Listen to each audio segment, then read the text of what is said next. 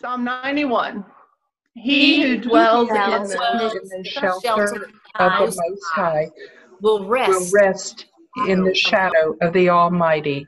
I will say to the Lord, You are my you are my refuge and my fortress, my God in whom I trust. For it is he who delivers you from the snare of the trapper and from the deadly pestilence. He will cover will with you cover with his pinions, and under his wings you may seek refuge. His faithfulness is a shield and bulwark.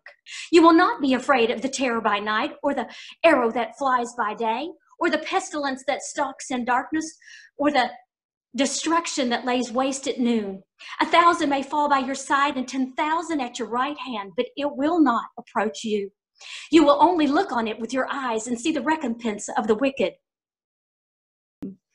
For he has made the Lord my refuge, even the Most High your dwelling place. No, evil, will befall you, nor will any any plague plague, come near your come near tent. your tent. For he has given his angels charge concerning you to guard you in all your ways. They will bear you up in their hands that you do not strike your foot against the stone. You will tread upon the lion and the cobra, the young lion and the serpent. serpent. Because he loves me, says the Lord, I will rescue him. I will protect him, for he acknowledges my name.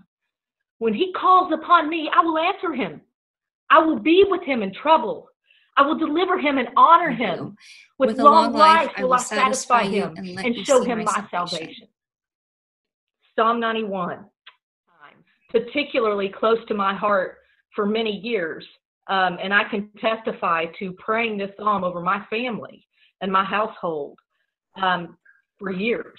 So I've been I've been very blessed with this psalm, and I and I I will tell you that it it does not surprise me the reports I'm hearing of how popular this psalm is becoming Yeah. through Yeah. this.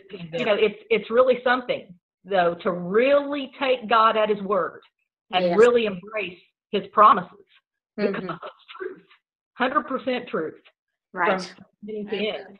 And this is the foundation that we stand on in these times we're living. So Yeah. anyway, appreciate you all for listening to me. yeah. Thanks for preaching. Yeah.